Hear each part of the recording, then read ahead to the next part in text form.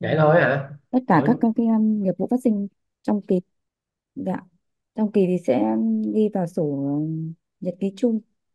Ừ. Xong rồi từ sổ nhật ký chung thì sẽ có sổ um, cái các tài khoản. Đúng rồi. Sau đấy là có sẽ có sổ chi tiết theo uh, đối tượng. Ừ. Ừ. và và và sổ chi tiết theo gì theo đối tượng và theo um, mặt hàng. Và vào mặt hàng. Nhật ký chung là gì? Sổ cái là gì?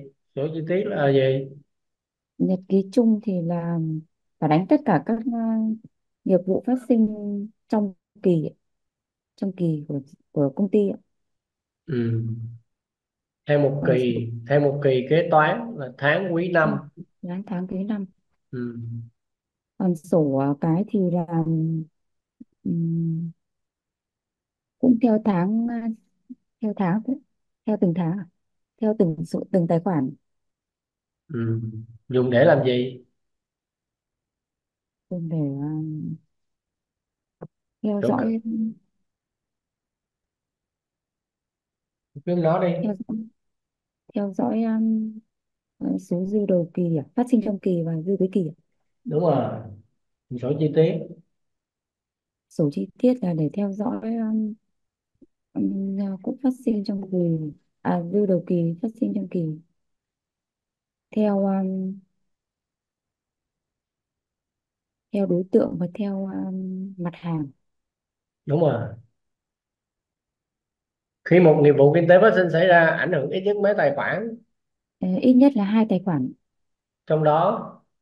Ờ, trong đó ờ, có một tài khoản ghi à, ghi có một tài khoản ghi nợ. Một nợ một có. Tổng số tiền bên nợ phải bằng? Dạ. Tổng số tiền bên nợ phải bằng?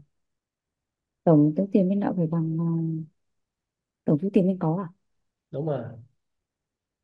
Kế toán có mấy bộ chứng từ? Cái bộ chứng từ kế toán có mấy có mấy loại bộ chứng từ? Mấy ờ, mấy loại bộ chứng từ?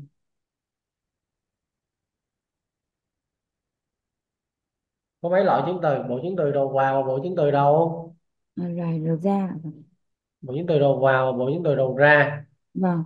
Bộ chứng từ đầu vào tức là mình mua hàng mình trả tiền. Vâng. Bộ chứng từ đầu ra là bán hàng và thu tiền được vâng. Không vâng khi mình đi kiểm tra hay khi làm kế toán thì mình cầm trên tay bộ chứng từ gì? Cả đầu vào lẫn đầu ra. Cái đó người ta gọi là chứng từ gì? Chứng từ gốc và chứng từ ghi sổ. Chứng từ chứng từ chứng từ ghi sổ. Chứng từ gốc chứ chứ. Tất cả các phòng ban phát sinh là chứng từ gốc chuyển qua phòng kế toán. À, vâng. Rồi phòng kế toán mới phòng kế toán mới làm cái động tác gì tập hợp chứng từ và kiểm tra lại và hạch toán. Kiểm tra ghi chứng sổ. từ kiểm tra chứng từ đảm bảo được cái nguyên tắc gì? Ừ, theo quy khi định của dạ, theo quy định của pháp luật theo quy định của bên thuế. Theo quy định bên thuế rồi theo phải theo quy định của ai nữa? Của pháp luật ạ. Theo quy định của công ty theo quy định công ty vâng. rồi, rồi theo quy định của thuế nó phải đảm bảo hai cái đó chứ. Vâng. Rồi từ đó từ đó mới tiến hành cái gì? Nếu tiến mà hành ghi nó sổ. tiến hành vào phần mềm hạch toán nợ có là gọi là vâng. ghi sổ đó. Rồi sau đó in ra chứng từ gì? In uh, in ra phía à, chứng từ gì in ra chứng từ gì? In ra chứng từ gì em? Chưa có chứng từ gì nhỉ? In ra chứng từ gì in ra chứng từ ghi sổ. Thì có phải là chứng dựa vào chứng từ gốc kiểm tra hợp pháp hợp lý rồi bắt đầu mới dựa vào đó mới mới vào phần mềm hạch toán nợ có hạch toán nợ có tức là hạch toán trên cái chứng từ ghi sổ đó đúng không vâng. Trời nói này cả ngàn lần rồi mà sống nhớ như vậy. Mấy cái mấy cái đó là cơ bản em không nhớ thì sao mà học được. Nói hoài năm buổi rồi. Chứng từ ghi sổ nó có chữ nợ và chữ gì? Nợ và chữ có. Đúng rồi. Rồi từ đó chứng từ ghi sổ nó có chữ nợ và chữ có mà nó có thêm cái gì nữa? Nó có ký hiệu chứng. ký hiệu chứng từ ạ. Nó có ký hiệu chứng từ. Đây. Chứng từ ghi sổ nè. Chứng từ ghi sổ là ai lập? Kế toán ạ. Đúng rồi. Đây chứng từ ghi sổ nè. Chu chi có chữ nợ chữ vâng. có nè. Có ký hiệu chứng từ đây. Rồi nó kèm theo bao nhiêu chứng từ gốc nè thấy không? Vâng thấy kế toán rất là đơn giản mà tại sao em cứ em xào quằn xào quằn năm buổi em không biết gì vậy? Kế toán nó không nó đâu có khó đâu. Bây giờ công ty phát sinh cái gì tụi anh cứ lập chứng từ đi. Đưa tôi xem ok không? Ok rồi tôi mới làm sao? Tôi mới tiến hành tôi lập chứng từ ghi sổ. Rồi in chứng từ ghi sổ này ra kèm với lại chứng từ gốc nó trở thành một bộ chứng từ hoàn chỉnh. Rồi sau đó lưu chứng từ hết. Kế toán vậy thôi và em đi kiểm tra thì kiểm tra trên chứng từ vậy thôi hết. Không có khó gì ở đây không có khó. Em đi kiểm tra rất là dễ người ta làm mới khó còn kiểm tra rất dễ. Vâng. Kiểm tra em chỉ in sổ ra và em kiểm tra thôi. Em xem cái chứng từ đó nó có phhợp pháp hay không. Đó. Rồi hiểu chưa? Vâng đây gọi là chứng từ ghi sổ nè. Cứ vô phần mềm làm in ra thì cái đây gọi là chứng từ ghi sổ, nó có chữ nợ và chữ có ở đây. Như vậy một bộ chứng từ hoàn chỉnh nó bao gồm mấy loại chứng từ ở trong một bộ chứng từ hoàn chỉnh của một nghiệp vụ nó bao gồm mấy loại ở trong ủa, em học, em có lấy giấy em viết không? Hay là học buổi nào tôi cứ tôi nói như vậy rồi cái em quên cha luôn rồi. em hình như em nghe thôi, em không có biết hả? Em có giấy ạ em phải viết lại em mới nhớ chứ. Học cái gì cũng vậy vâng cái đó cái đó là kinh nghiệm của tôi á. học là phải viết. Nghe viết. Vậy nói đi một bộ chứng từ hoàn chỉnh là nó bao gồm mấy loại chứng từ ở trong Ừm, một bộ chứng từ hoàn chỉnh. Đúng rồi một bộ chứng từ hoàn chỉnh của một nghiệp vụ nó bao gồm mấy loại chứng từ ở trong nó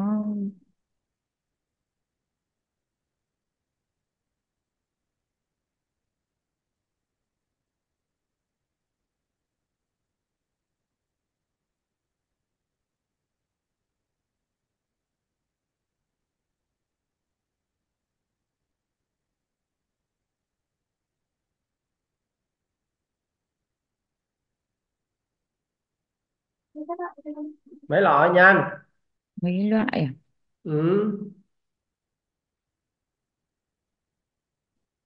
nó chính là như anh hỏi nó là ấy à? là là hợp đồng hóa đơn các thứ ạ đúng rồi hồi nãy tôi nói có mấy loại chứng từ hả em không nắm cái gì hết. Tôi buồn quá. Tôi dạy em năm buổi tôi hỏi em giống như em ở trên mây. Giờ không biết em đi kiểm tra cái gì của người ta. Em có đang làm ở bộ phận kiểm tra không? Hay là làm bộ phận không nào? Em làm bộ phận khác. Em chưa chưa qua bộ phận kiểm tra. Sắp sửa hay sao? Chắc là phải đến uh, cuối năm. Cuối năm bây giờ không chuẩn bị rồi sao? Không biết gì sao mà đi kiểm tra đây? Ừ. thế em mới phải học học mà mà, mà, mà, năm buổi mà bây giờ hỏi những cái đó là basic thôi những cái đó là cơ bản thôi. Mà giống như ở trên mây ấy, bây giờ quy trình làm kế toán nói lại coi quy trình kế, kế toán ờ, làm làm sao nè? Ừ. Từ từ chứng từ gốc ạ. Sau đấy là em sẽ à, sau bộ phận kế toán sẽ kiểm tra xem đúng quy định của công ty và quy định của pháp luật chưa của thuế ạ sau đấy sẽ hạch toán. À thì sẽ ghi sổ. Hạch toán là ghi sổ cái từ như vậy thôi. Ghi sổ hạch toán là giống nhau. Vâng. Đó. rồi sao nữa? Sau khi à, ghi sổ tức là vào phần mềm kế toán. Nhập vào nợ có sau đó là in ra chứng từ để lưu. Như vậy thì ờ, em vào phần mềm em làm hạch toán nợ có em in cái chứng từ đó ra cái chứng từ đó người ta gọi là chứng từ gì? Chứng từ đấy chứng từ đấy chính là chứng từ ghi sổ. Đúng rồi. Như vậy chứng từ ghi sổ được lập dựa vào chứng từ nào? Là dựa vào chứng từ gốc.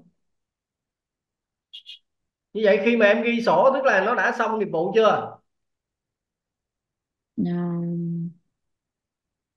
chưa khi mà em, em khi mà em đã ghi ờ, vào sổ xong rồi hạch toán một cái nghiệp vụ đó ghi vào sổ nợ có thì tức là nghiệp vụ đó đã xong chưa à, nó còn lên sổ nữa à? sổ nhật ký sổ cái.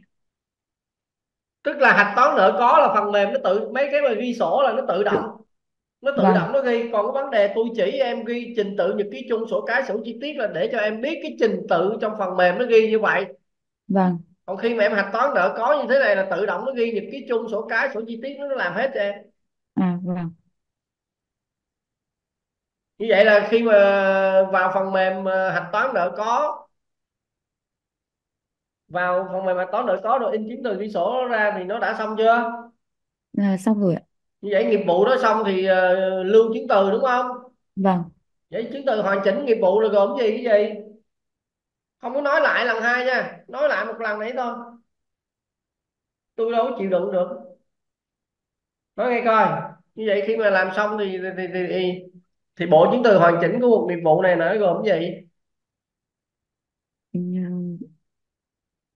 khi làm xong thì em khi làm xong thì đến lưu ạ. Thì lưu nhưng mà cái bộ chứng từ hoàn chỉnh của cái nghiệp ví dụ như nghiệp vụ đây là chi tiền mua dịch vụ 50 ngàn nè ví dụ cái vâng đây là ờ, kèm theo sau đây là một tờ hóa đơn đi. Vâng. Như vậy bộ chứng từ hoàn chỉnh là nó gồm cái gì và cái gì? Ờ, gồm mà chứng từ hoàn chỉnh ạ.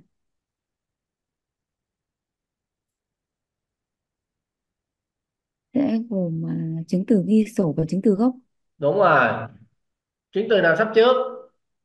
À, sắp trước thì là chứng từ chứng từ gốc. Chứng từ ghi sổ chứng chứng từ ghi từ ghi sổ sổ sắp trước. Kèm theo à, kèm theo chứng từ gốc. Chứng từ gốc kèm theo sau. Vâng.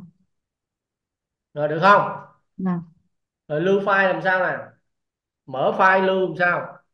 Lưu file theo um, theo từng loại chứng từ. Từng loại chứng từ là sao? Nói câu đó không ai hiểu luôn ví dụ mình như nói khi mình nói là người khác phải hiểu. Nói câu đó tôi tôi không có hiểu em nói gì luôn á. theo à, theo kỳ và theo loại chứng từ loại chứng từ là sao? Cái từ loại chứng từ là sao? Ví dụ như là theo à, trong tháng theo tháng một chẳng hạn thì có bao nhiêu phiếu thu để lưu cùng một tệp ạ? Lưu cùng một file. Theo loại chứng từ ghi sổ đúng rồi theo loại chứng từ ghi sổ. Em phải nói một cái câu như vậy. Theo loại chứng từ ghi sổ. Như vậy ví dụ như trên ờ, làm sao mình biết cái, cái có bao nhiêu loại chứng từ ghi sổ? Biết làm không sao? Em không. Ví dụ đây nè ví dụ tôi mở đây cho em xem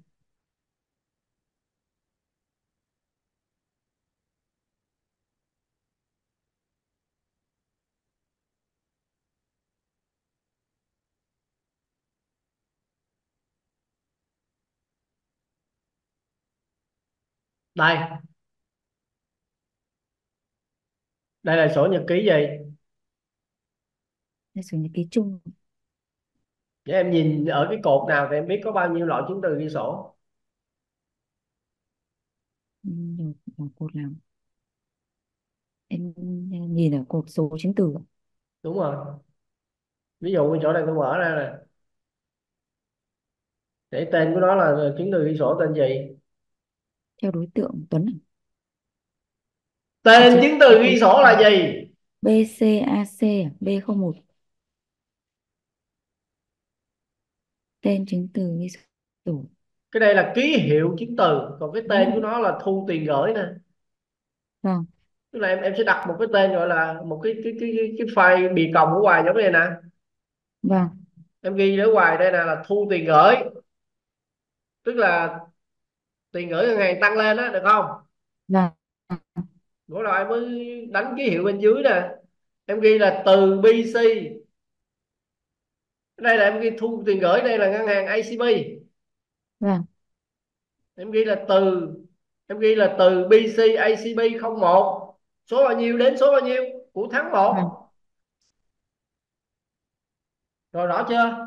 Vâng đó cái cột đây nè cái cột đây gọi là chứng từ ghi sổ nè sau này em đi kiểm tra người ta là em dựa vô nhật ký chung đây nè. Em kêu nè em em khi mà em đi kiểm tra em có kêu người ta tìm chứng từ cho em không? Hay là em tự tìm? Em nói tôi nghe coi. Ừ. ví dụ bây giờ em đi kiểm tra từ ngày 1 1 2023 tới ngày 29 tháng 2 2024 nè. Ví dụ cái nghiệp vụ này đi nợ gì có gì nè. Em nhìn nghiệp vụ này em coi người ta đang hạch toán nợ gì có gì em nói tôi nghe coi. Nợ gì có gì người ta đang hạch toán làm sao vậy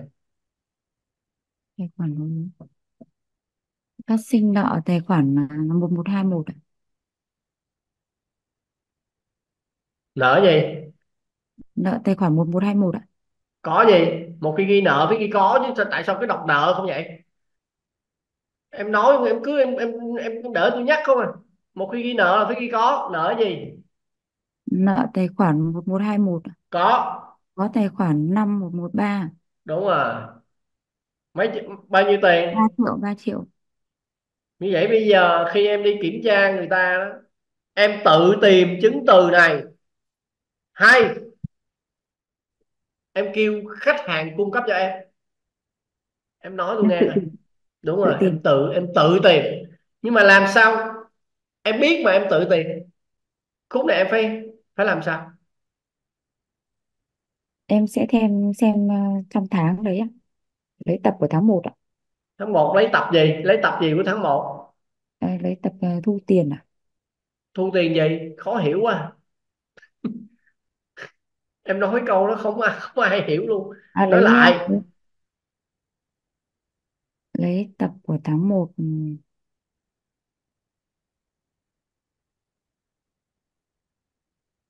theo ký hiệu số chứng từ không phải. Bây giờ cái này à, à, là sổ của của ai ghi nè ai à, làm sổ này? doanh nghiệp ạ. Vậy cái người làm người ta biết cách lưu không? Có. Vậy đầu tiên em phải hỏi người ta. Vâng. Em kêu ồ chị ơi bây giờ em tìm cái này nè. Em tìm làm vâng. sao? Chị chỉ giùm em cách lưu bên file bên chị coi. Vâng. Ủa có biết tương tác không? Ok chưa? Vâng. Như vậy rõ chưa? Vâng cách lưu chứng từ rất là như vậy đó. Cách lưu chứng từ là dựa vào tên của chứng từ ghi sổ. Tên là gì? Ví dụ như tôi có 5 loại chứng từ ghi sổ. Phiếu thu phiếu chi phiếu nhập phiếu xuất. Thì tôi sẽ có mấy file? 15 file ạ. Đúng rồi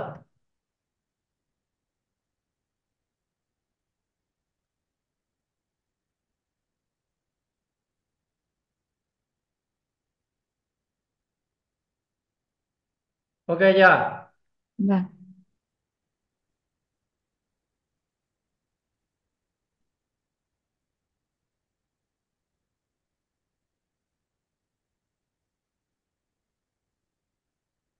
Rồi.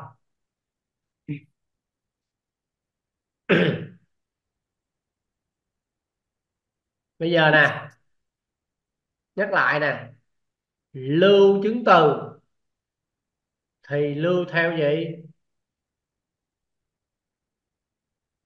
Lưu chứng từ. Ừ.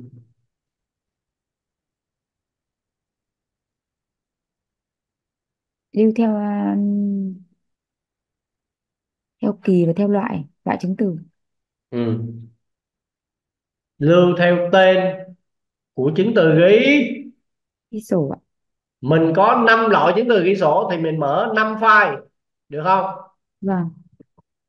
Muốn tìm chứng từ thì đầu tiên phải hỏi cái người làm kế toán về cái cái cách lưu được không?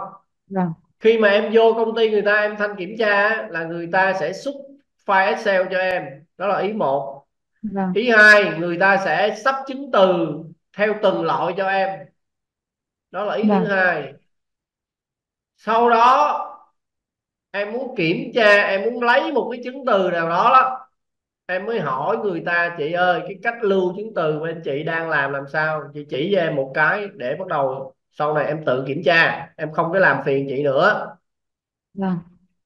Rồi hiểu cách làm chưa? Vâng. Một bộ chứng từ hoàn chỉnh. Ví dụ cái chỗ này. Một bộ chứng từ hoàn chỉnh cái chỗ này nè. Nó bao gồm mấy loại chứng từ trong này bộ chứng từ hoàn chỉnh nó bao gồm mà hai loại. Nói tiếp đi cứ nói đi không nói giống như em bị giật giật cái gì vậy em? Khi nói thì phải nói hết chứ. Hai loại loại gì loại gì? Một loại là mà hai loại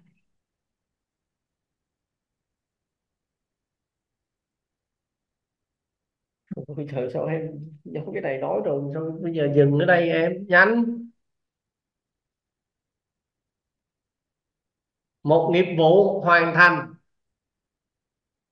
Thì gồm một nghiệp vụ hoàn thành khi mà em lưu chứng từ là nó bao gồm mấy loại chứng từ trong cái bộ chứng từ đó. Nếu mà ở đây thì là hai loại. Loại gì và loại gì? Loại um, à, nói tổng thôi nói tổng quát thôi chứ không phải là nhìn vô nghiệp vụ phiếu thu tiền gửi đây là, là, là cái này này. nói tổng quát giùm tôi thôi chứ không phải là thu tiền gửi đúng đâu em coi chứng từ gì trong này là chết rồi. Nói tổng quát thôi.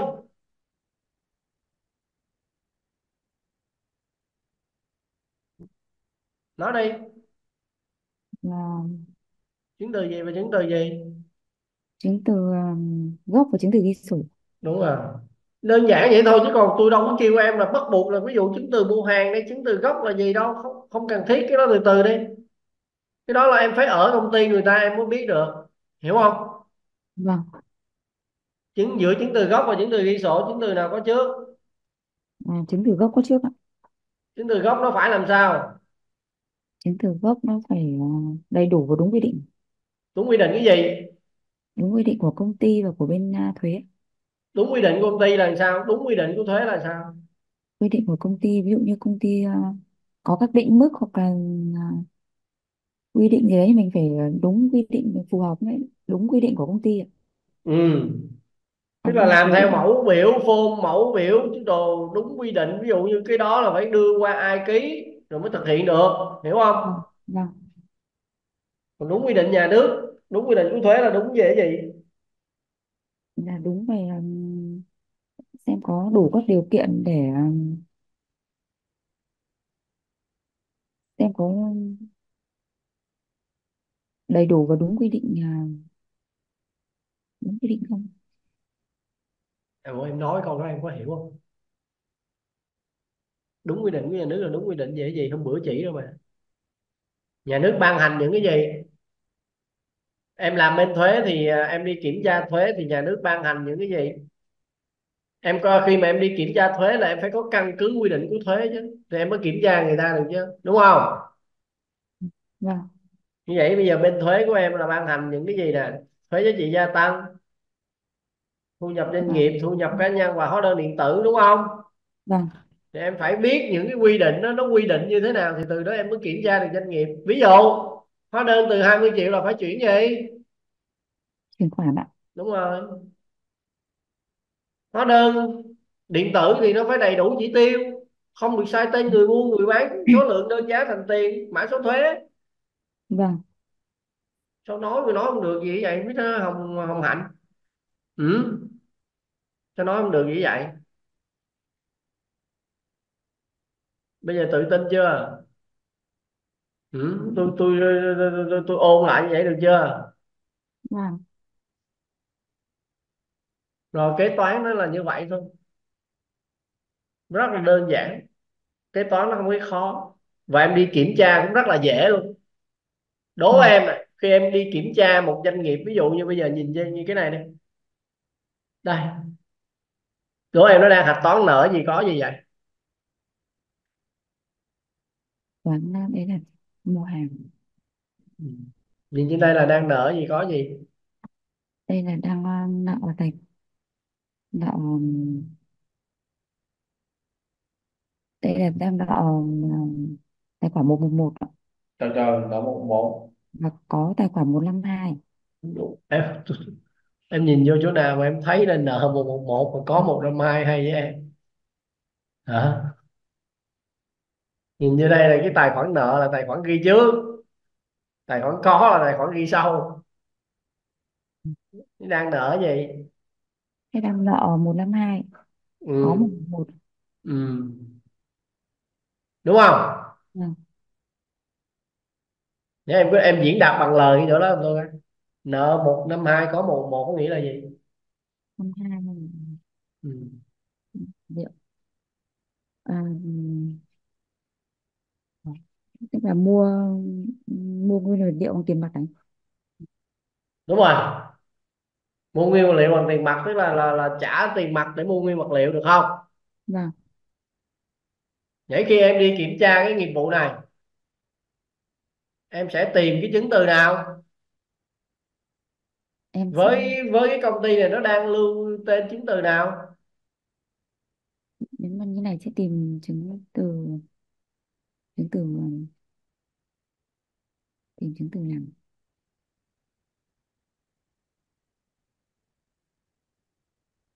nó đang lưu nó đang lưu file tên chứng từ gì? Chứng từ mua hàng. Đúng rồi ký hiệu là gì? Chứng từ mua hàng.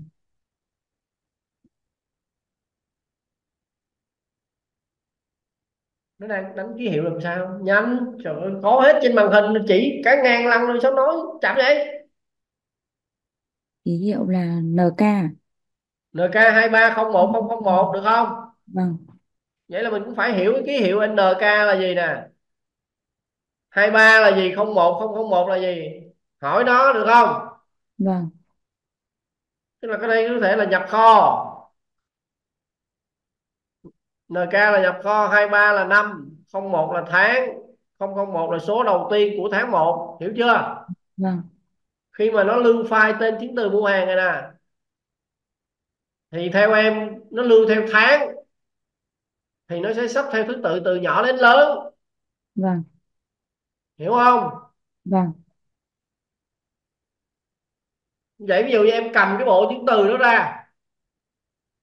Em kiểm tra là em kiểm tra những cái gì trên cái bộ chứng từ đó.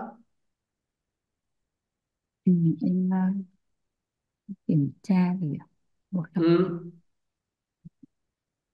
khi mà em đi kiểm tra cái nghiệp vụ này em đã lật ra được cái bộ chứng từ này rồi bây giờ theo em á em kiểm tra những cái gì trên đó? Em nói tôi nghe coi.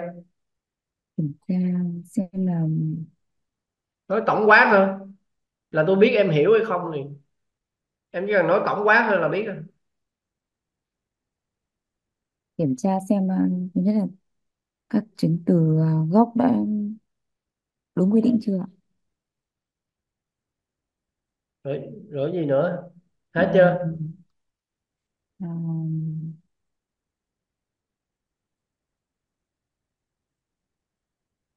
Xem uh, rồi thì xem um, mua hàng hóa gì ạ? Có phục vụ sản xuất kinh doanh không? đúng rồi. Mua hàng hóa gì có phục vụ cho kinh doanh không? Đúng không? Vâng. Còn ngoài ra kiểm tra cái gì nữa đây là em mua ở ví dụ như bây giờ tôi nói nè mục tiêu của em đi kiểm tra một cái nghiệp vụ tại công ty á mục vâng. tiêu mục tiêu em kiểm tra cái nghiệp vụ đó vâng. là mục tiêu em kiểm tra cái gì? Mình phải mình phải đưa ra mục tiêu ví dụ ví dụ vâng. này em học cái lớp với tôi mục tiêu là gì biết không hay là học mà không biết mục tiêu ví dụ mục tiêu em đang học lớp tôi em đạt được cái mục tiêu gì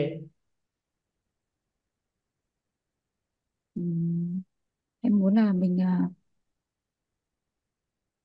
biết cách kiểm tra biết cách tìm hồ sơ á ừ.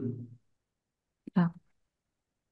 nếu vậy em đang đang đang thấy cái hướng ờ, đúng đúng chưa em thấy cái hướng tôi đang dạy em thấy phù hợp với em chưa? Em à,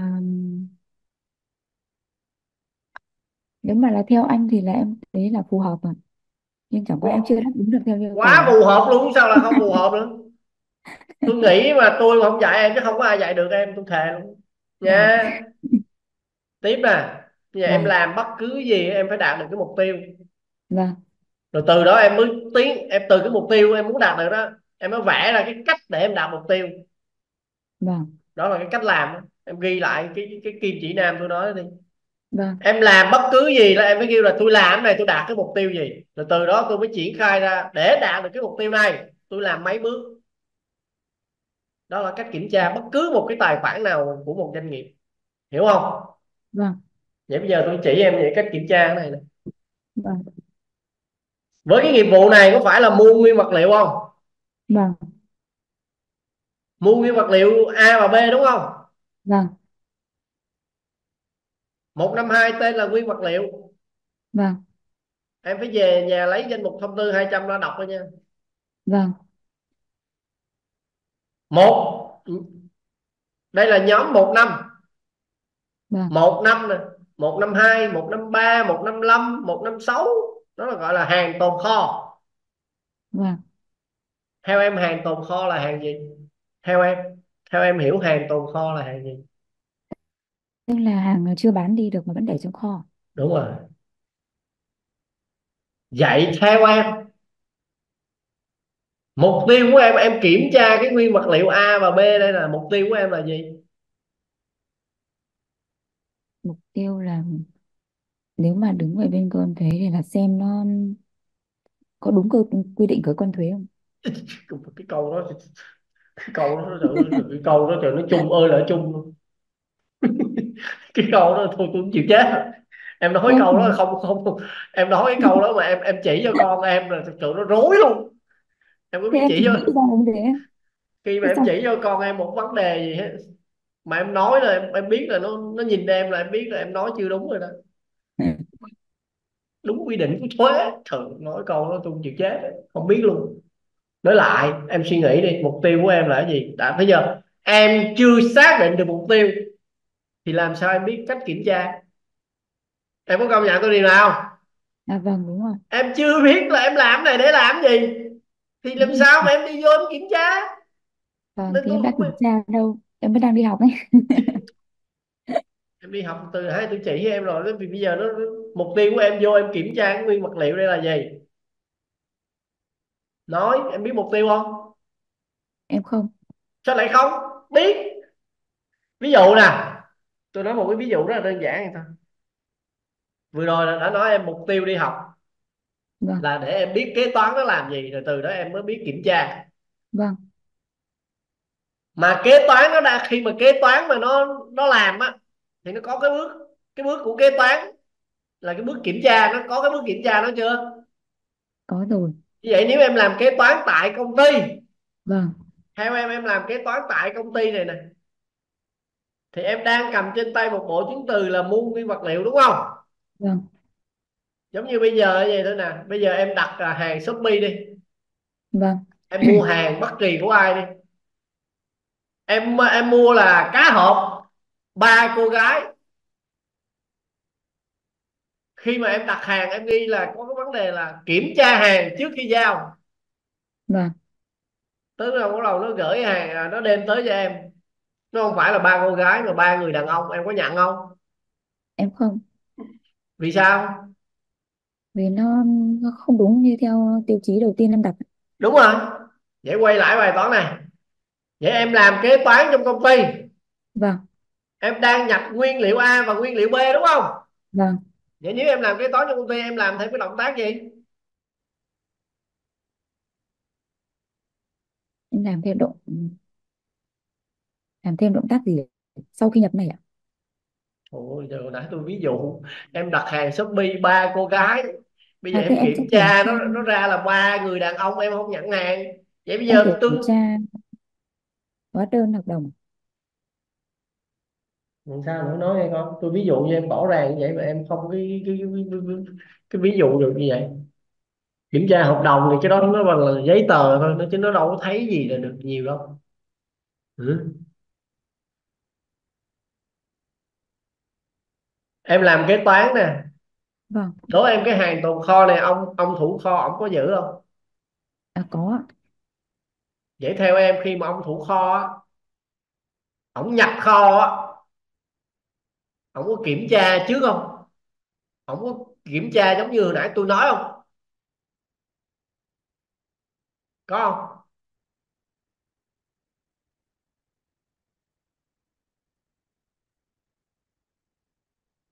Alo. Alo alo, đâu rồi?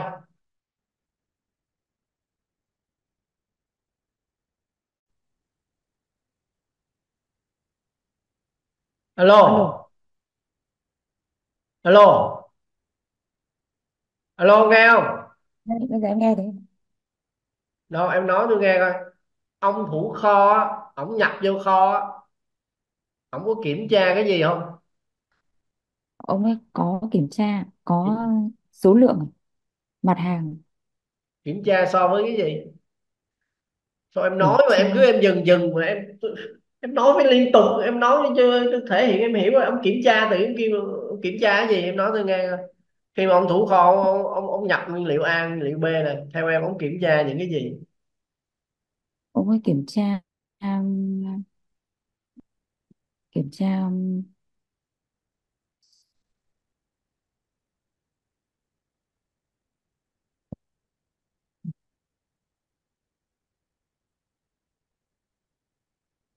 thiếu nhập kho. Thiếu nhập kho là ông ấy này là kế toán này? Ông kiểm tra cái hóa đơn. Người ta xuất cho công ty là có phải là hàng nguyên liệu A nguyên liệu B không? Vâng. Rồi ông mới so sánh với lại cái thực tế là ông đang nhìn thấy á, nó có đúng như vậy không? Hiểu không? Vâng.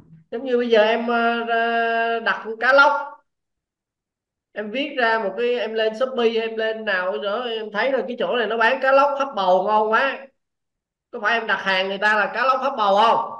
Vâng. Cái đó là gọi là chứng từ đơn đặt hàng của em đó. Vâng. Bây giờ người ta chuyển cá lóc hấp bầu tới. Và em thấy là em mở ra em thấy đúng cá lóc hấp bầu. Vâng. Em em nhận hàng không? Em có. Tôi gợi ý như vậy từ nãy em không thông gì vậy. Thông chưa vâng.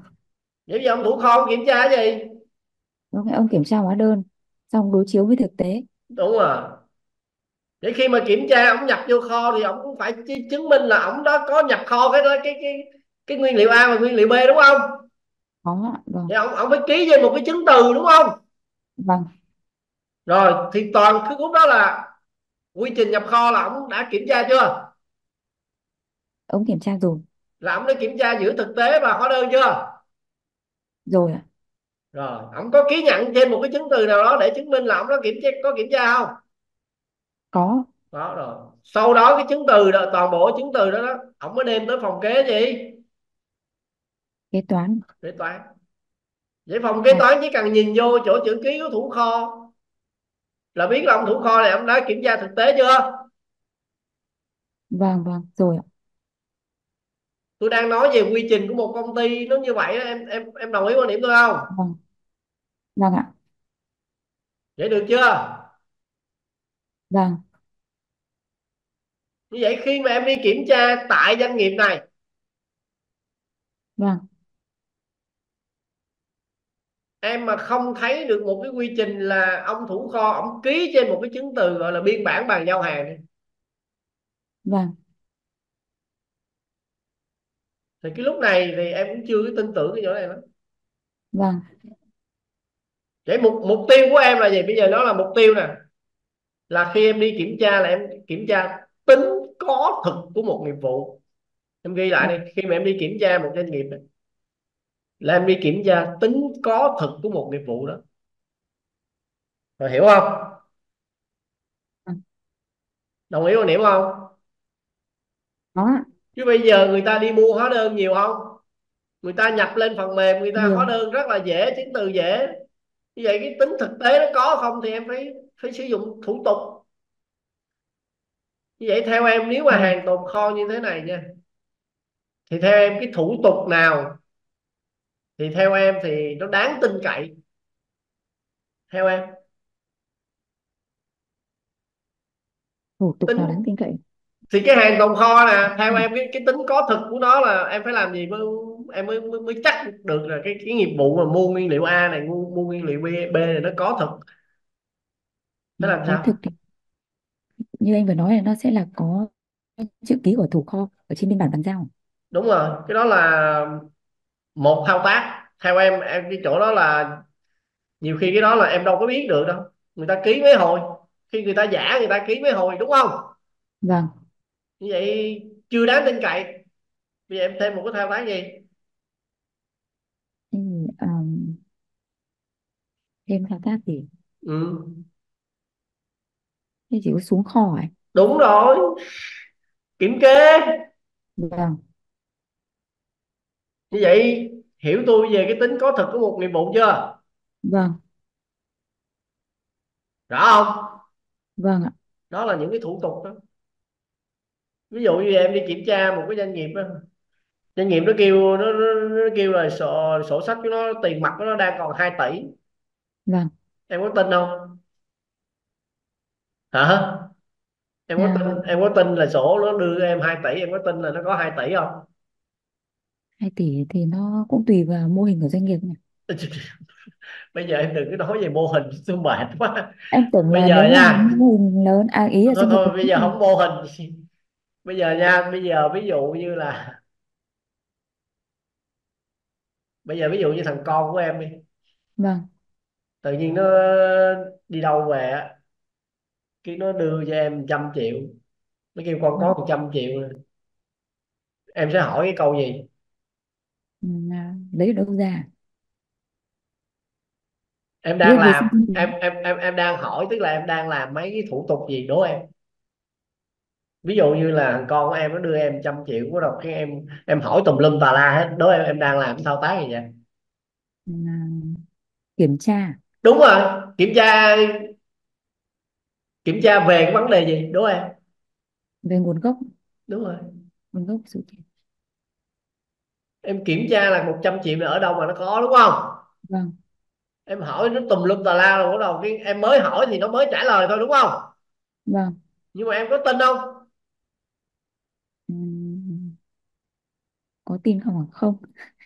Cũng tin 50 phần trăm đúng không? Ừm, vâng. Tin đây không là do cái thằng con em hồi xưa tới giờ là có đáng tin cậy không? Đúng vâng không? vâng. Hồi xưa là thước tàn nói xạo vâng không vâng. thì làm sao mà em tin? Đúng không? Vâng. Vâng. Vậy nếu em không tin thì em em làm cái động tác gì tiếp theo? Nếu không tin thì em à, nếu mà em phải kiểm tra kiểm tra kiểm làm sao em biết kiểm tra? Em tra kiểm các thông tra tin. thông tin ở đâu?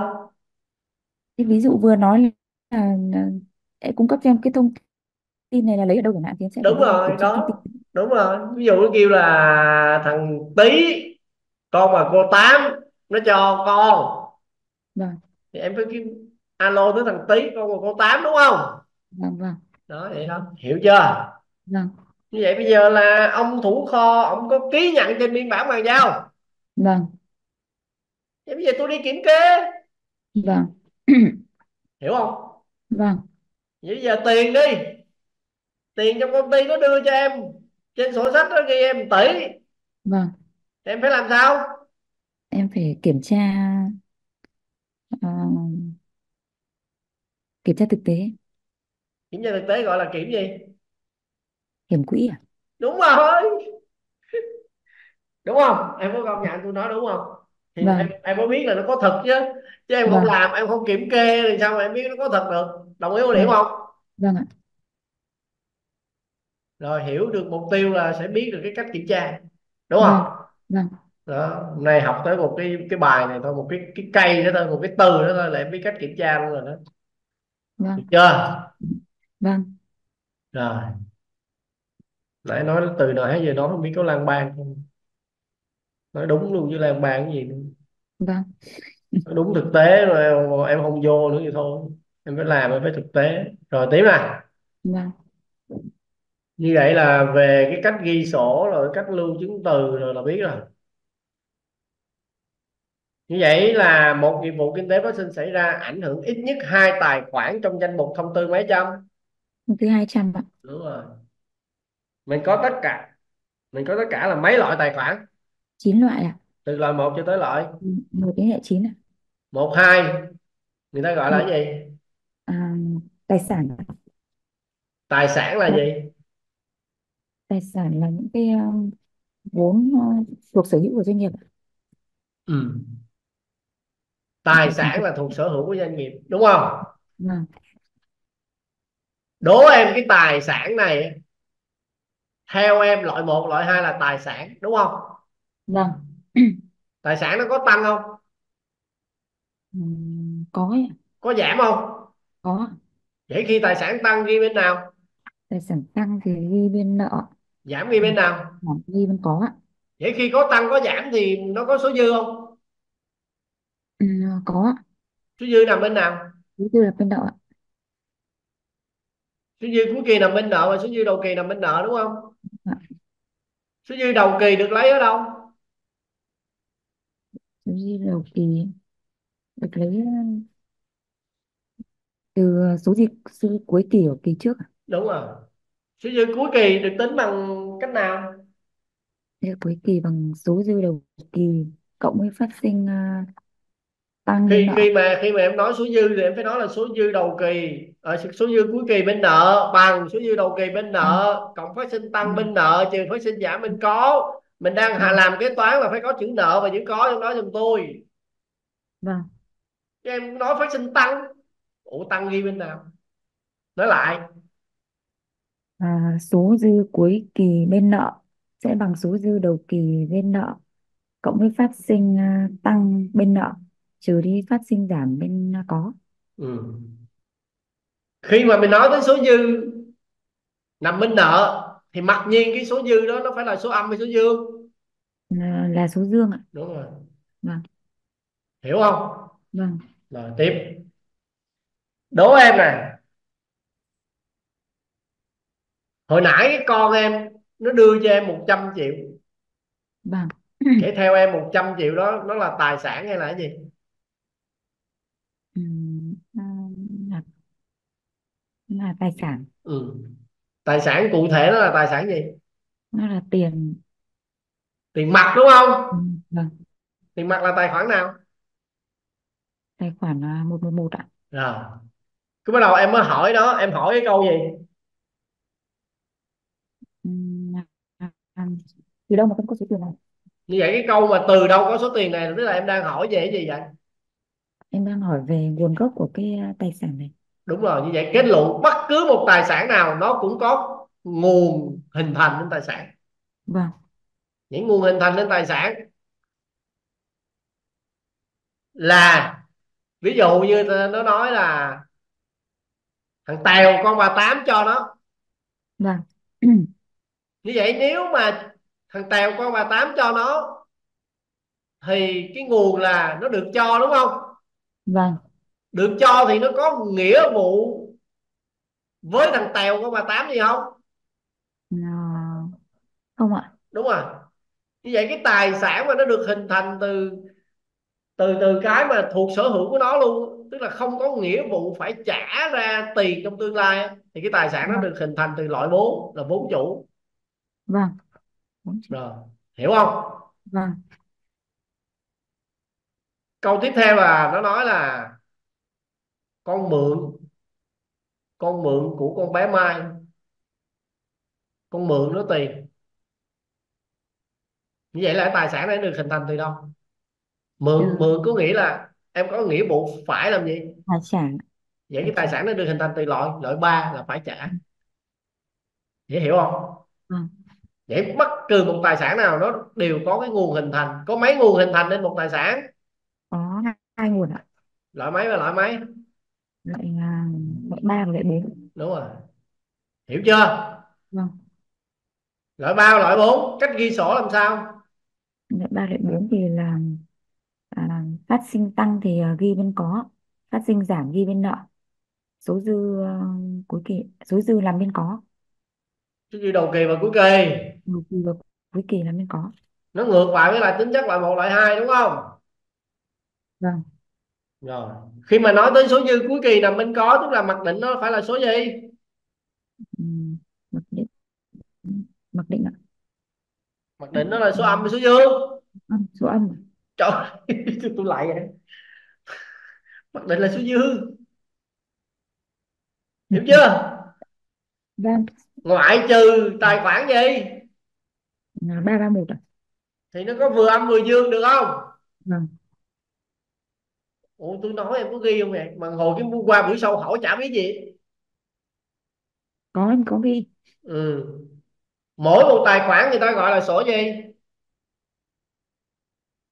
Mỗi mỗi một à, tài khoản người ta gọi sổ cái. Sổ cái dùng để làm gì? Sổ cái để à, phản ánh à, số dư đầu kỳ tăng giảm trong kỳ và số dư cuối kỳ của tài khoản đấy. Rồi khi mà đi học á thì người ta biểu thị một sổ cái bằng chữ gì? Bằng chữ T ừ. chữ T là luyện hơi bị nhiều rồi đó đúng không? Không. rồi được chưa? Ừ. được chưa? Vâng. Rồi bây giờ tôi mới cho em xem nè. Ví dụ như với cái nghiệp vụ này em dòm này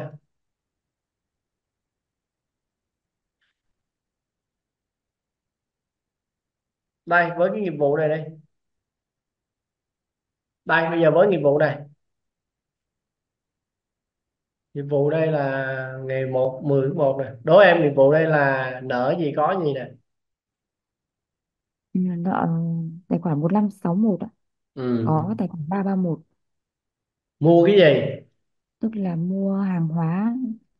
Nhưng mà hàng hóa nó tên gì mua hàng hóa là mặt hàng A và mặt hàng B. Ừ. trả tiền chưa? Chưa trả tiền ạ. Ừ. mua của ai vậy? Mua của ông ờ, Nguyễn Văn Khanh ạ. ừ.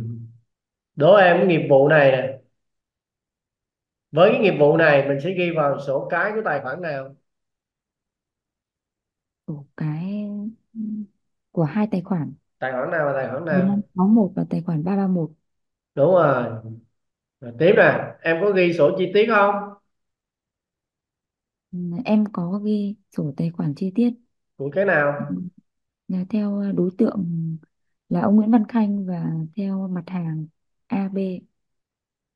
Rồi bây giờ tôi mới cho em xem về cái sổ chi tiết của mặt hàng A và mặt hàng B cho em xem nha. Vâng.